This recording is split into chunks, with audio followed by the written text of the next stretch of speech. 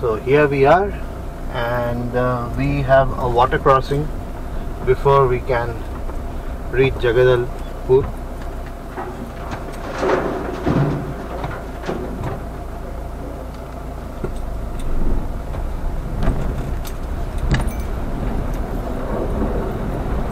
So that's the water crossing that we are going through and uh, Punto Abarth is making it.